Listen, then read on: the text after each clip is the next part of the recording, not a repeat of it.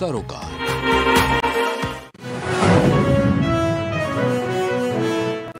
कांग्रेस सांसद संतोष सिंह चौधरी का हुआ निधन, भारत जोड़ो यात्रा के दौरान बिगड़ी तबीयत।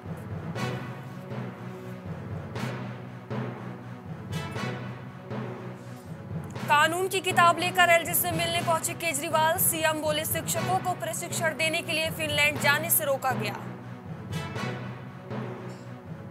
हिमाचल में आया भूकंप, आज सुबह धर्मशाला और चंबा में दो बार लगे झटके।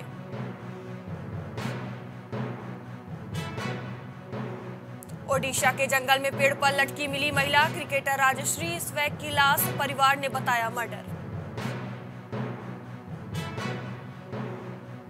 यूपी ऊर्जा मंत्री अरविंद शर्मा ने की प्रधानमंत्री नरेंद्र मोदी से मुलाकात, प्रधानमंत्री जी से मिलकर उनका लिया आशीर्वाद।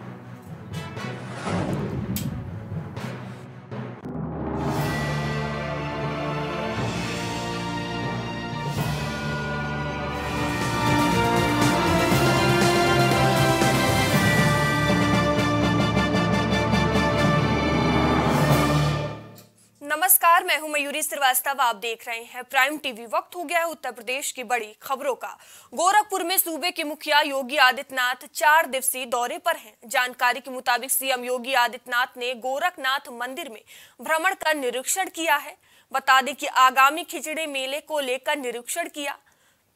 सीएम ने वहीं पर मौजूद श्रद्धालुओं से बातचीत की। जानकारी के मुताबिक सीएम चार दिन के दौरे पर हैं और कई कार्यक्रमों में शिरकत करेंगे।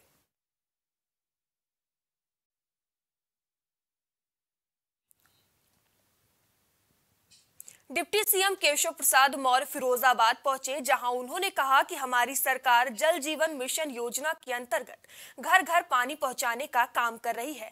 पानी उतना खर्च करें जितनी ज़रूरत हो, क्योंकि आने वाली पीढ़ी को पानी की समस्या से जूझना पड़ सकता है। साथ ही उन्होंने कहा कि फिरोजाबाद के ग्रामीण इलाकों में स्वयं सहायता समूह के हिसाब से लोगों को स्वयं लंबी बनाने का काम किया जा रहा है पिछली सरकारों के समय में भ्रष्टाचार होगा सौ रुपया चाहे लखनऊ से चले, चाहे दिल्ली से चले, उसमें से पचासी रुपया भ्रष्टाचार की भेंट कर जाता था।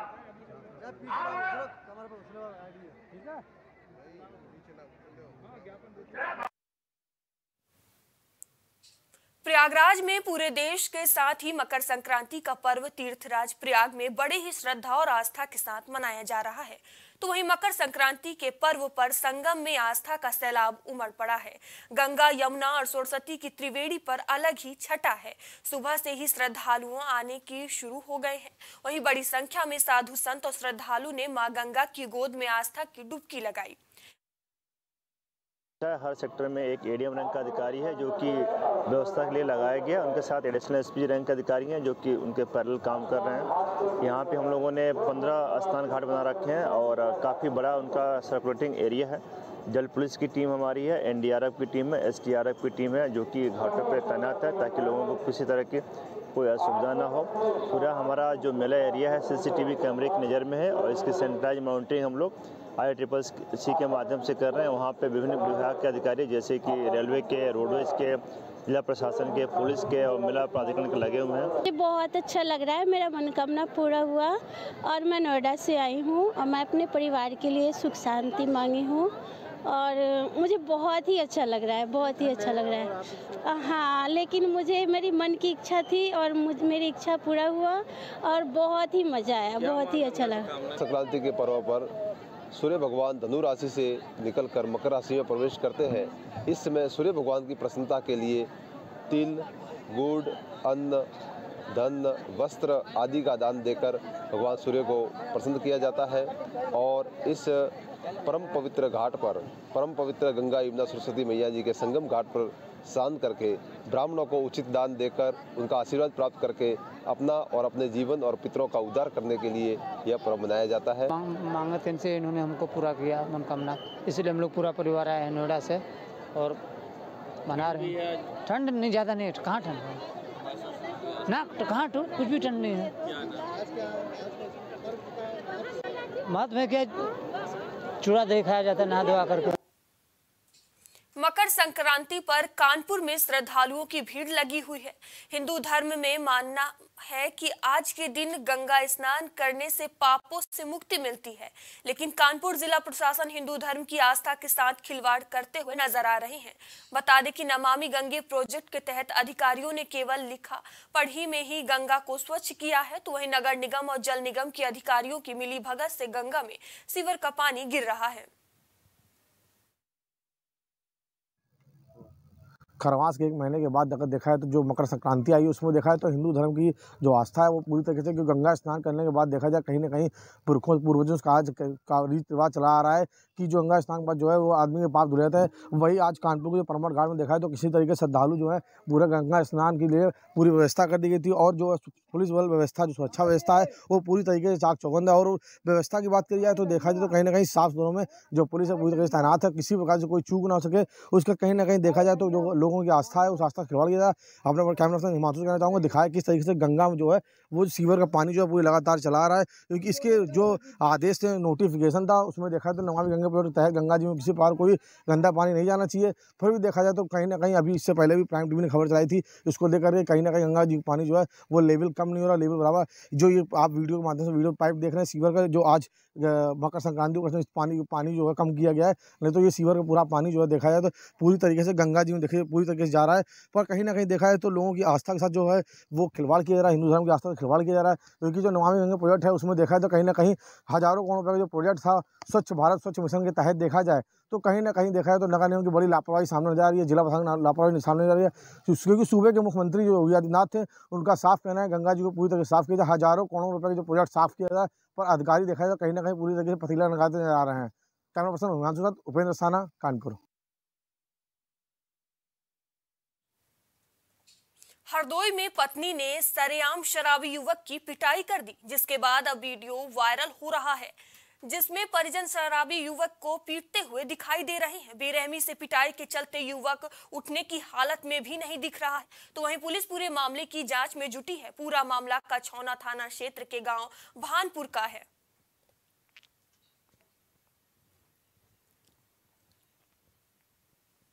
गाजियाबाद मोदीनगर में धूमधाम से लोहड़ी का त्योहार मनाया गया, जहाँ सामाजिक संगठन द्वारा लोहड़ी के त्योहार का आयोजन किया गया। बता दें कि कार्यक्रम में 2022 में जन्मी बच्चियों को मुख्य अतिथि बनाया गया। इस दौरान कार्यक्रम में पहुँची बच्चियों की माता पिता को सम्मानित भी किया गया। तो वहीं बड़ी संख्या में स्थानीय लोग और सामाजिक राजनीतिक हस्तियाँ भी पहुँची।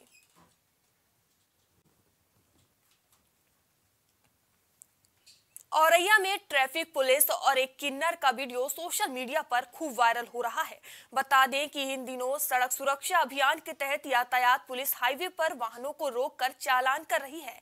इसी को लेकर जब एक किन्नर की कार को यातायात पुलिस ने रोका तो गाड़ी में बैठी एक किन्नर सड़क पर उतर गई और ताली पीटने लगी, जिसको देख हाईवे पर हंगामा होने लगा। बात बढ़ती देख यातायात प्रभारी ने चालक को समझाकर सीट बेल्ट पहनने को कहा और छोड़ दिया। इस पूरी घटना का वीडियो वीडियो अब वायरल हो रहा है। पूरा मामला अजीत मल कोतवाली क्षेत्र के अनंतराम टोल का है। औरैया में पलटे ट्राला में बाइक सवार टकरा गया, जिसमें तीन लोग गंभीर रूप से घायल हो गए। जिसके बाद घायलों को एंबुलेंस की मदद से सामुदायिक स्वास्थ्य केंद्र में भर्ती कराया गया, जहाँ हालत गंभीर देखते हुए घायलों को सैफई के लिए रेफर कर दिया गया।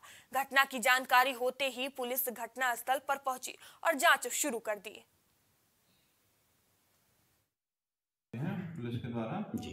जो एक्सीडेंटल है एक ट्रक से गाड़ी टकराई हुई है जिसमें दो पेशेंट को हेड इंजरी है और एक को फ्रैक्चर है।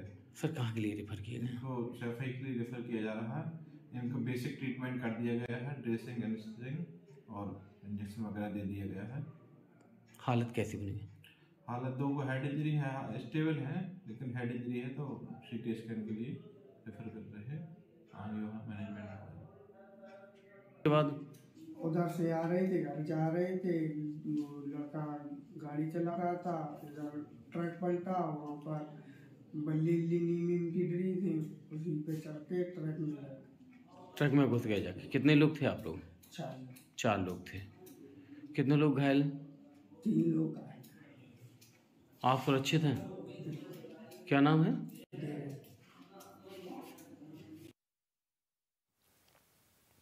औरैया में इस समय दबंगों के हौसले बुलंद हैं। मामला औरैया ज़िले का है, जहाँ एक वीडियो बेला थाना क्षेत्र का वायरल हो रहा है, जिसमें कुछ दबंग एक युवक को बेरहमी से पीट रहे हैं, जिसके बाद पुलिस जागी है और युवक की तहरीर पर मामला दर्ज कर आरोपियों को हिरासत में ले लिया गया है।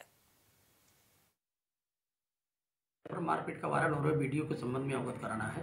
बेला कस्बा में एक दुकान के सामने गाड़ी खड़ी करने को लेकर के दो पक्षों में आपस में विवाद हुआ था। इसमें एक पक्ष दूसरे पक्ष को मार पीट रहा है।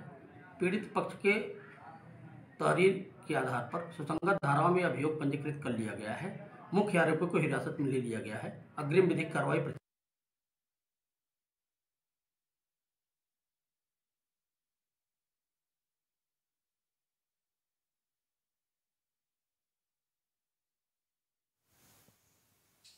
औरैया में रेडीमेड की दो दुकानों में लगी भीषण आग से लाखों का सामान जलकर खाक हो गया, जिसके बाद लोगों ने आग पर काबू पाने की कोशिश की, लेकिन आग के विकराल रूप के आगे किसी का बस नहीं चला। घटना की जानकारी फायर ब्रिगेड को दी गई। इस दौरान फायर ब्रिगेड ने बड़ी मुश्किल से आग पर काबू पाया। पूरी घटना सदर के संजय गेट के पास की है। तत्काल फायर टेंडर दो फायर टेंडर मौके पर आए क्योंकि कंजस्टेड एरिया है।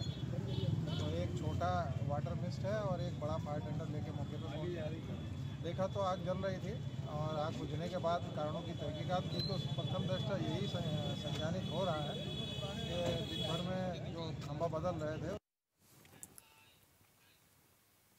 उत्तर प्रदेश की खबरों में इतना ही। देश दुनिया की तमाम खबरों के लिए बने रहिए प्राइम टीवी के साथ।